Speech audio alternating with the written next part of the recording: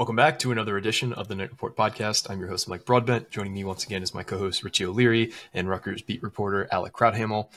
We're going to discuss everything that happened last night at the Rutgers charity scrimmage against St. John's. Rutgers fell 91 to 85 in a really exciting game. Um, Rutgers was leading for most of the game, fell apart down the stretch, but ton of positives to take away from it. Ton of hype around this game.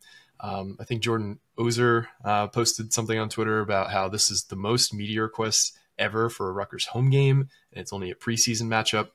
Just kind of give you an idea of the, the media attention it got. We'll have a lot of uh, coverage of what was said on social media, uh, what we thought about the game, any superlatives that we have.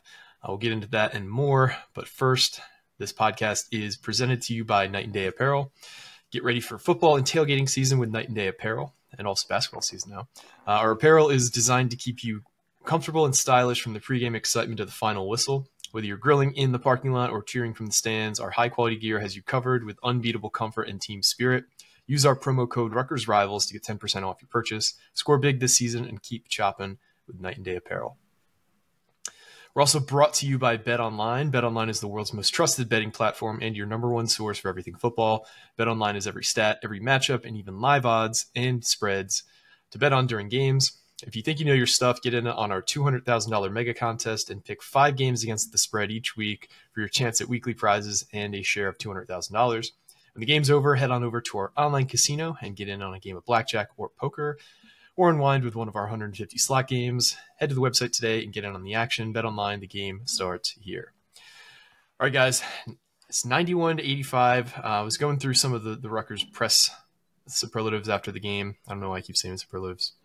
Um, 85 matches the regular season high from last year. Uh, they did score 87 in an overtime game. Uh, 44 points would have been the second most points scored at halftime last year. We had one game where we scored 46 overall, the offense is night and day different. Now you see that we did there uh, from last year. They just have a, a, a plethora of guys who can hit tough shots, guys that can hit open shots. Free throws were much improved. Like there's just so much positive to talk about the offense that we saw last night. Um, Rich, what was like the one thing that you took away from this game that really impressed you?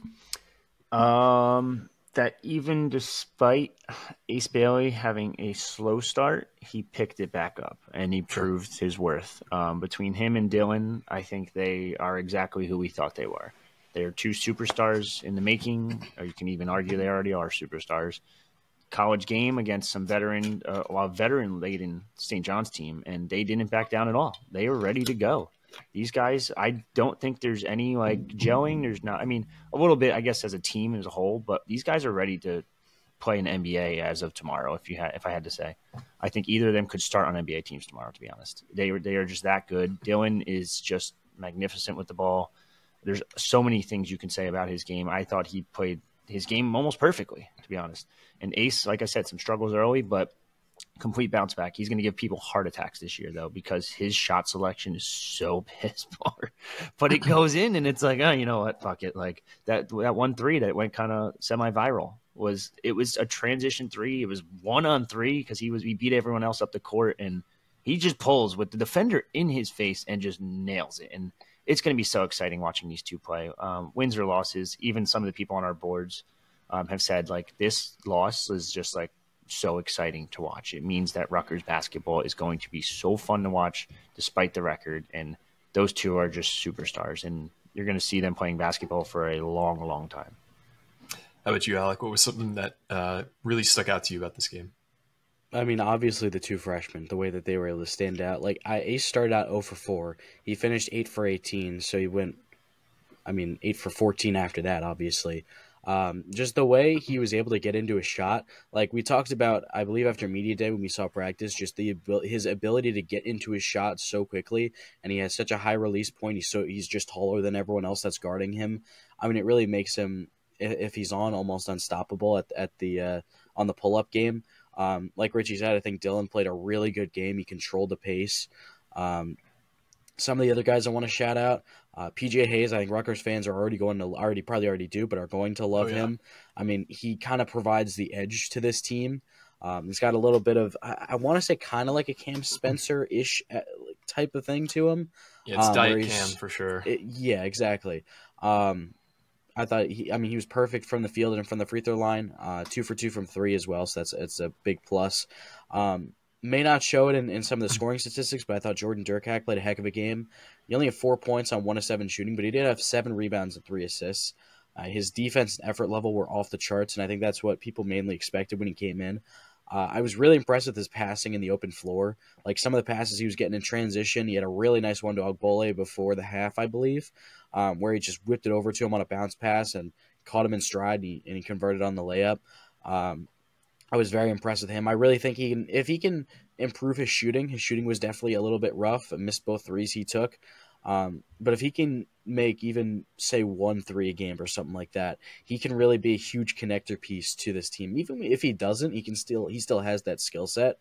Um, just going through some of the other guys, I thought Tyson Acuff he looked like a guy who got clear for practice a couple days ago, good and bad. Um, he struggled a little bit on, in the what three minutes that we saw, but I mean it's not unexpected considering he's still getting back up to form. Um, but it's good to see him dressed and good to get him out there. Uh, just looking through some of the other guys, Zach Martini, uh, he had three offensive rebounds in 11 minutes. He didn't play a ton, especially in that first half, but the second half we saw him at the five a little bit more. I was very impressed with his rebounding. Uh, just you know, always knows where to be on the floor, always follows the ball. Um, I mean, these are all things that we expected uh, coming in for him. Um, Lathan Sommerville only played seven minutes, but I thought he looked. The one shot he hit was very nice. Um, Yep. Jamichael Davis, he played very uh, aggressive and, and took initiative a lot, both in a positive and, and not so great sense.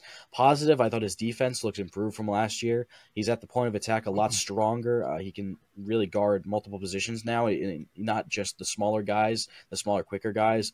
Uh, on offense, he's trying to get a little bit too much at the rim a little bit. If I, I would say he shot three for nine from the floor. He did hit a three, so that's good. Um, I just thought he was a little bit too bold uh, going up at the rim at times, but I'm sure that'll iron out as the season went on. But yeah, I mean, the defense and rebounding, it, it the rebounding in particular does worry me a little bit. Yeah. But when you score 85 points, I mean, you're doing something right. Yeah, we'll definitely get into that as a key negative takeaway um, because I think everybody who watched that game was a little concerned with the, the rebounding situation.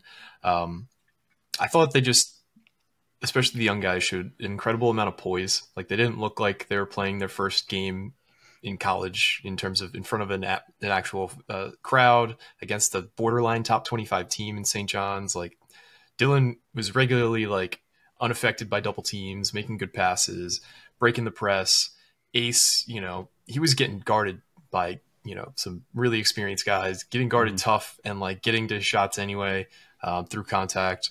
Um, I think they probably need to get the ball to PJ Hayes more. Um, seemed like some of the the offensive stuff kind of got stodgy in the second half. I don't know if that was fatigue.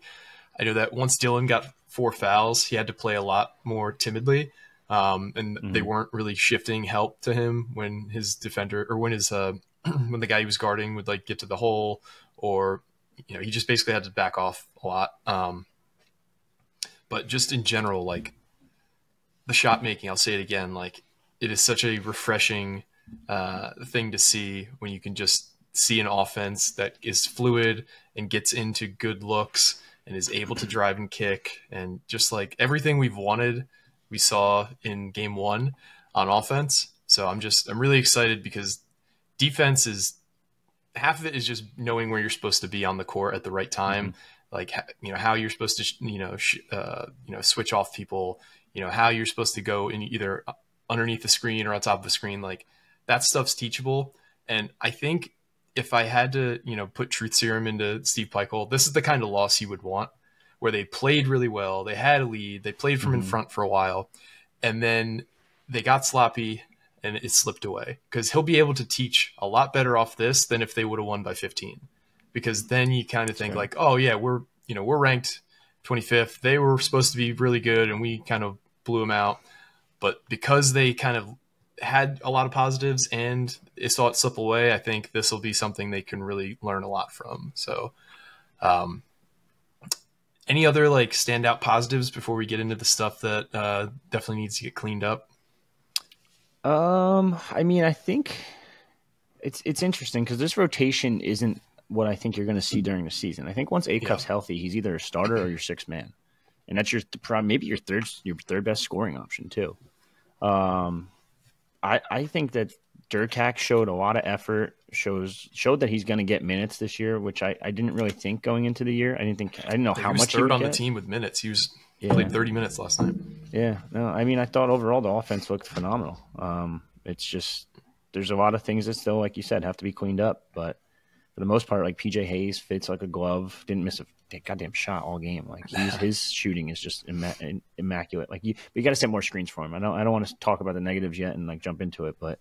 Um, Lathan in the limited minutes he got looked pretty good. That that that uh, what is it? That fadeaway like mid range shot. I'm like, Yeah. every I, I think I said it to Alec next to me. I was just like, dude, no, no, no. Oh, it's in. Never mind. I take it back. Like, so there's the shot selections definitely have to be a little bit better. But um, I mean, 45 percent, 40 percent from three, 81 from the charity stripe. They got a Yeah, free throw shooting that. team. Emmanuel Ogbole made two. hmm Holy shit! That, that, yeah, that was what I was gonna gonna talk about as another positive, the free throw shooting. Uh, two for two from Davis, two for three from Harper, five for seven from Bailey, two for two from Ogbole, two for two from Derkack, three for three from Hayes, two for three from Martini. So it's pretty solid. And they shot nine for ten in the second half as well, which I know was kind of a big sticking point. It seemed like they always struggled, you know, later on in games as it went on, but they went nine for ten in the second half. So pretty impressive. All right, let's pivot to some negatives. Uh, man, they were not good in the paint defensively. They allowed 22 offensive rebounds. Um, they allowed 46 points in the paint, 25 second chance points.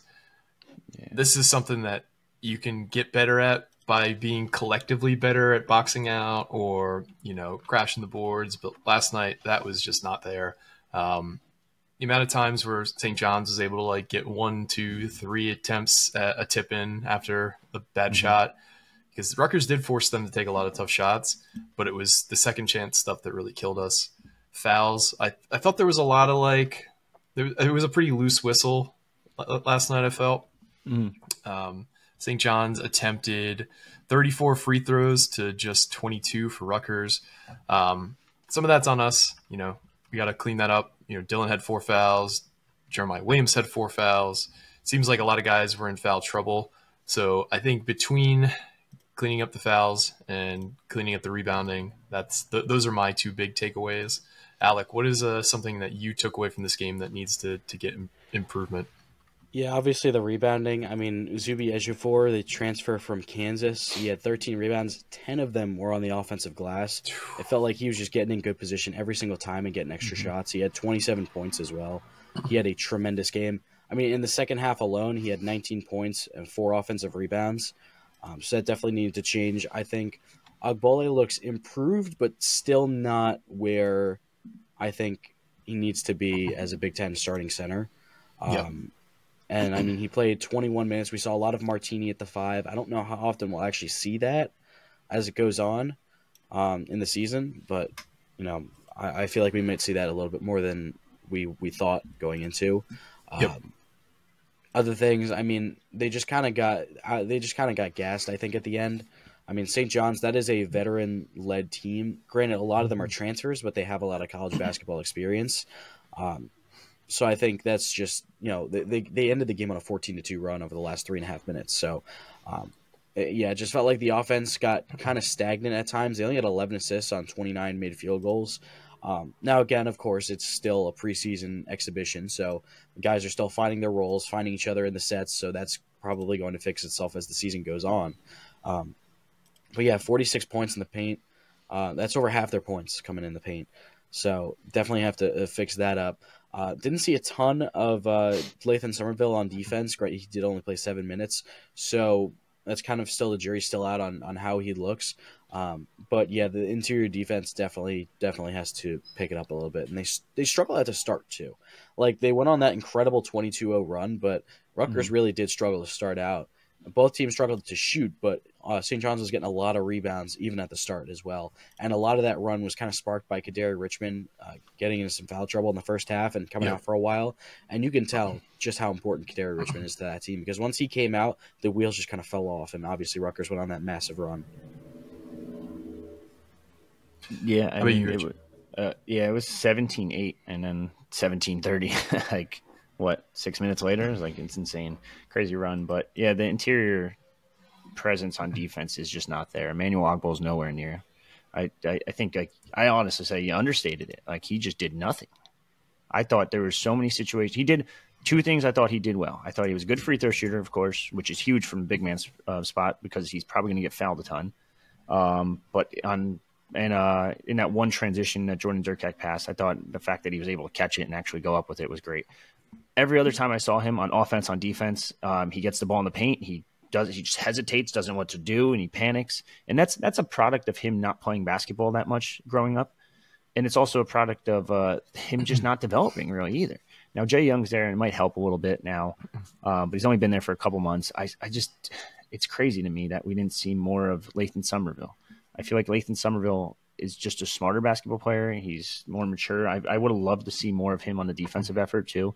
I know that's where he's kind of a little bit lackluster, but I just it, it's he needs to be ready. Like Lathan needs to be ready quicker than we thought. Um, it's a problem on the on the boards. Emmanuel was getting pushed around by guys that were just skinnier than him. I think what was the center yep. yesterday? Not not a not a Chukwu, the other guy. He was like four. Yeah, he he. We, we looked it up uh, during the game. I think he has like fifty pound, or Emmanuel has fifty pounds on him. They're the same height, but Emmanuel has a fifty yeah, pound difference, and he's got yeah. muscle. You should not be getting bodied by someone that's that skinny. Like, yeah. push this guy around. I've seen him. I saw him boxing out. Mm-hmm. Ghosters one rebound late game that really cost him the game. Honestly, where Emmanuel got the ball and it almost was like he handed it to the defender and it was like, "Here, you can go up. It's your basket, not mine." Like, no, dude. Like, I, I need him to be an enforcer down there. That's his that is his role. That's his supposed to be his niche. Like he needs to do something better, everything better. Honestly. Um, on top of that, the other negative that I, I really took away was um, Jordan Derkack and and I loved him. I thought I love hustle guys. I love, love all around effort guys. Great defender. He's on the floor nonstop, diving for balls, getting steals. But th- between him and JaMychal Williams, stop attacking the rim. Like you're getting double. JaMychal Williams, Jer- uh, Jeremiah Williams. Yeah, I keep messing him up. Jamichael Davis, not Jeremiah Williams. Okay. Um, uh, what do you call it? They just kept attacking the rim despite them being collapsed on every single time, and they're still going up. It's like, dude, you got to pass that out. If you're getting collapsed on, someone's yeah. wide open. You have PJ Hayes a shooter, Zach Martini a shooter. Dylan Harper shot a lot of threes, to be honest. Um, and that, that was supposed to be the worst part of his game, but he looked pretty good doing it. Um, Ace Bailey, a shooter. Like you have so many shooters. If you're getting collapsed on, someone's open. Don't go up yep. on two guys because how many times did we see whether it wasn't even resulting in fouls? It was just block after block or jump ball and block, and it's turnover, and it's like, oh my god. So there are a lot of flaws with this team still. I think that this is actually a very good St. John's team. I know they weren't ranked in AP top 25. I think they were 27, but they're also very lengthy. That's like a team that Pikiell would have loved to coach just because of that length. Um, they have one guy that's six foot. The rest of their team is six four and above. And wow. most of the guys that were out there yesterday were six six, six seven, six eight, six seven, six six, six seven, and obviously their big men are six ten and seven foot one. But for the most part, like it's just a lengthy team. They're a very talented program, and the fact that Rutgers was able to, should have probably beat them, uh, but kept up with them scoring wise is really impressive. Um, but overall, I do think there's a lot of flaws that still have to be fixed, and rotations interior post uh, defense or post presence in general. Um, because like even when Martini came in, like Martini's not big enough to guard these Big Ten guys going forward, and that's why you saw Ace like Martini was in as the center. Ace was sitting in the paint just trying to defend the paint because the, the Martini can't really defend the paint. Like he can go and put up put a little muscle against people. Like he's an all around hustle effort guy too, but there's only so much you can do at 6'7", 210, 220 versus a seven footer that's the same weight as you. like it's it's tough, but I do think they have to figure out that big man spot. That's that's my biggest um, negative, I should say. Yeah, I think my biggest negative that hasn't been talked about yet is just kind of how they fell apart down the stretch. Mm-hmm. Um, final seven minutes of the game, uh, Rutgers was up 79 to 70 with six minutes and 50 seconds left. St. John's goes on a 21 to 6 run to close the mm-hmm. game out. Rutgers goes two for nine shooting over that that stretch. They commit, uh, they turn turn the ball over four times during that stretch. It was just like time after time they would just you know find a way to make a bad pass or a bad shot. So down the stretch, when you are fatigued, you know, when you're dealing with foul trouble, I just think as a team, they nobody handled that situation well. From you know the guys who are playing in their fifth or sixth year of college ball to their guys playing their first. So I think that is where uh, where Pikiell will have the most effective uh, coaching um, over the next few weeks is mm-hmm. getting end game situations cleaned up. I know it's just one game, and I know we kind of have to maybe overemphasize what we saw um, a little more than we probably would have normally for a regular season game. But overall, I think way more positives than negatives coming out of this. Yeah. Um, but this is a team that they're going to have to figure out the big man situation.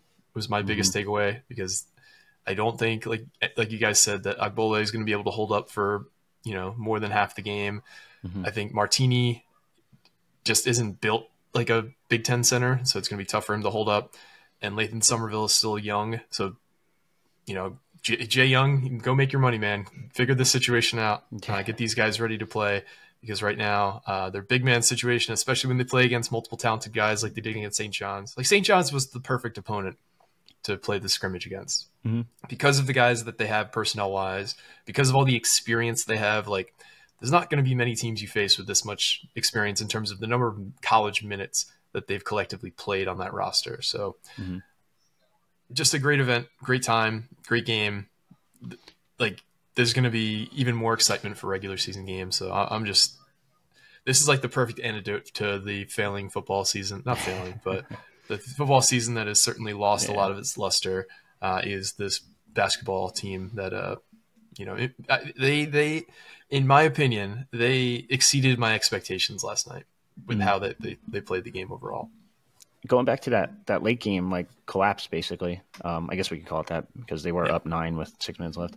I think that's more of like you just said. It's the youth versus the experience. Like mm-hmm. when you have two young guys out there and they're chucking, and a lot of guys, a lot of these guys also. I, you can't even say they're not gelling because the other team's brand new too but it's just that experience issue at the end. Like you saw the like the lazy pass at I think it was the second to last possession for St. John's. It was just a lazy pass to basically just put the game away because um, yeah. I think they were down four, and then they had the ball, and it was just a lazy pass at midcourt, and it just the guy just read it perfectly, got the steal, fast break, and there you go, points for St. John's, and that was it basically. I think it, I think it might have been when they were down two actually when that came in. It might have been that too. I, and then I think, right. or maybe it was when they were down two and Dylan got stripped because that also that was also one of the late possessions. Um, uh, yeah, and then that basically put the game away. Defense, block, block, rebound, steal. Where's the steal? Yeah, you were right. It was down. No, down three. Yeah, down. Made free throw from Kadary Richmond, personal foul. J. Mike steal, bad. Yeah, no, okay, I'm sorry. Uh, it was down four. It was 89-85, and then um, it was just a bad pass. Um, and just Kadary Richmond read it like a book, and yeah. And I will say, I mean, he he he backed up. Well, he he didn't have his best game. Uh, he is actually pretty good. He had nine, nine, and six, so maybe triple double watch. But he he backed mm-hmm. up his comments earlier this week. So uh, I guess yeah. I guess props to him.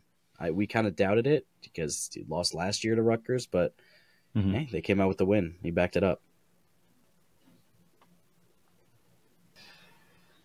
Yeah, um, I had a great time. I got way better seats than I normally would have. Um, I was in like 105 row E. Man, that is a totally different uh, ball game than sitting in the 300s. Um, it's it's funny like the stuff you hear from the coaches that close to. Like I feel like mm-hmm. you're just way more part of the game. Um, November 6th, game one of this mm-hmm. regular season. Uh, I knew Steve Pikiell was talking about after the game um, I guess we could talk about that. What, what was said after the game? You know, he's got three weeks to get this team going and you know pointing in the right direction. He seemed really upbeat after the mm-hmm. game. Mm-hmm. Like normally he's crushed after a loss. I get that it's a, a scrimmage, but like I don't think I've I, I think I've seen Steve Pikiell less happy during win press conferences than the press conference yesterday. Mm-hmm. Uh, Rick Pitino was super complimentary about uh, Rutgers compared uh, Dylan Harper to Clyde Drexler, or Clyde, Clyde Frazier, Clyde Frazier, geez. Mm-hmm. Um, and he said that Ace Bailey is incredibly talented. Um, what were some of the things said after the game that surprised you, or you thought were standout? Uh, Rich, we'll start with you. Um, I mean, he he knows that they're not rebounding well. He mentioned that. I, I, found it interesting that he. This is a guy that, mind you, in preseason a couple years ago was hyping up his team, saying this is the greatest team he's ever coached, this and that. And it was almost the complete opposite because like when when asked about the rebounding, he said he's like we haven't been even rebounding well in practices, which mm. definitely stands out. I think he realizes that there is an issue at that at that five spot. Um, it's going to have to be a team effort when it comes to rebounding. It's because if I, I, can't imagine Emmanuel averaging double digit rebounds, and yeah. that's kind of what you need from a big man spot. But if you're not getting that, you need an all around effort. We need Dylan rebounding, which he, he got his boards. I think he had four or five. Ace had five, or vice versa. One of them had five, one had four. So you need those guys to rebound. You need the guards to rebound. You need Derkack out there rebounding. You need more, you need more Martini minutes to be getting rebounds. Um, and I thought actually he looked pretty good, um, even though he wasn't getting rebounds. And I said this when when they got him, he's just a good box out guy. Like he knows exactly where to throw a body on someone, or it will always put a body on someone, I should say. Um, but you need an all around effort there. Um, I know it's tough for like guys like PJ Hayes who are usually probably going to be outside the arc, so it's hard for them to get rebounds uh, for the most part. But I, I, need a little bit of hustle there. I need I need everyone on this team to have at least like two rebounds a game minimum, if not three. Um, I know that's not asking for much, but when you don't have a big man that's going to get double digits, and you have Ace who's probably going to get you like five, six a game, maybe you need more from the rest of the guys. Um, but he uh, he also wasn't happy that they gave up 90 points, of course. But I mean, what what coach would in college sure. basketball? Yeah, I, I, will say he was he was pretty upbeat. Um, I mean, like you said, Mike. I mean, I had seen him less upbeat after after a win sometimes in Big Ten play. mm-hmm. uh, he's just saying like how great everyone's been. Um, you know, they're they're coming together. He did say that things you know kind of need to to change. And when it comes to rebounding, I'm kind of curious how. We didn't see Bryce Dortch or Dylan Grant at all last night. I'm kind of curious how they mm-hmm. factor in. Now, I don't think they'll get a ton of minutes, but those mm-hmm. are kind of those like lengthy, bouncy guys that can it, not if do nothing else but give a lot of effort in the rebounding game. Um, so I'm wondering how they'll factor in at, at, certain points, whether they can play the four at times. Um, I guess we'll have to see, and that kind of segues into Pikiell's post game as well. I thought Craig asked a really good question of, you know, because it's a scrimmage or exhibition and it doesn't really count on the record how do you manage you know experimenting with different things with your team versus you know mm-hmm. i want to go out and win this game and i think Pikiell said something along the lines of like you know obviously we want to see everyone mesh into their roles but at a certain point like those competitive juices start flowing and they, they, tried to they tried to win that game and and they came up short but uh, it was a pretty good insight into you know what the the thought process is and how you know how things are going to mesh out as the preseason goes on until the season really starts. Um, Jordan Derkack also had seven rebounds, so I think he's going to be another one of those guys that's going to be relied mm-hmm. upon mm-hmm. more for his defense and rebounding than just than offense. Um, yeah, it's it's a good question, and I'm not really sure how they're going to mesh it out, but they're going to have to at some point. Yeah, for sure. Um, it, I was surprised that Dorchin and Grant didn't get a single minute, but yeah. like Pike said, once the competitive juices start flowing, you kind of just want to go for the win, and I think that's more valuable than just kind of like playing it like uh, like a little league thing. It's like, oh, we're, we're up by one, but we got to get Johnny in. Like, not that, not I don't want to. I'm not saying this to four minute subs. Yeah, I'm not trying to say this to like put anybody down. I just mean like it's way mm-hmm. more valuable to be in a crunch time situation and actually try and like this is the kind of scenarios you're going to see in games this year and so mm-hmm. it's way more valuable to just play it like it's a regular game and then learn from it rather than be like yeah in a regular game we would have done this but we wanted to get some guys some minutes. It's like okay. Um, well it's interesting too because like rotation wise it was three guards for the entire game. I know yep. Dylan's guard six six guard so i mean he can he's he was guarding the three yesterday basically. Um, so, like, is that going to be the rotation going forward, or did you do that for the sole fact that this was a St. John's team that has a little bit more speed? It's a Big East team, so that's always most of, most of the Big East teams, if not all of them, run three guard sets. So, is that going to be a go like this the the rotation going forward, or are you going to switch back to like a more natural like two guard ace at the three as a wing, Martini out there, and then you can get more Grant and Dortch minutes because I mean Ace dominated the four spot um, minute wise and spent played what 37 minutes. So I mean that's like essentially yeah. the whole game. like, yeah, I don't know if we'll be seeing those kind of minutes uh, from him. Maybe we will. Who knows? Yeah. We'll see. Um, overall, like I said, really uh, really positive developments from this game. Really excited to kind of see how the rest of the season plays out. That we kind of beat it to death though. Unless you guys have anything else, I'm gonna call this one. Um, All I got is have- it's it's I that was fun, really. That that's like what it Yeah. boils down to. It was a lot of fun, and it's good to have college basketball back. yeah, that was more fun than any Rutgers game I watched last year. Maybe what was the game where Gavin scored like 30 points? That, That might was Boston. that was Boston University. That was like the second or third game of the season. That was the even the only the only game that even came close to like the level of fun that that game was. Um, Northwestern was fun, just for a different reason. Yeah, yeah, yeah. Um, so ahead of college basketball season starting, we are doing a giveaway. Giveaway. Um, we're giving away two high school replica jerseys of the freshman studs of Ace Bailey and Dylan Harper. Um, in order to get in on this giveaway, there's two ways. The first and most preferred way is to go to your Apple Podcast app, give us a five star review, mention Rutgers Madness in your review, and you'll be entered with two entries. Or uh, you can leave a comment on this video below mentioning Rutgers Madness, and you'll be entered for one entry. Um, just our way of giving back to you guys. We'll be doing the giveaway prior to the November 6th game. We Mhm. also are planning to have on a few basketball guests ahead of the season starting. Ooh, um, just tease that a little bit, uh, talk about this team. But for me and Richie and Alec, this has been another edition of the Knight Report podcast. Signing off.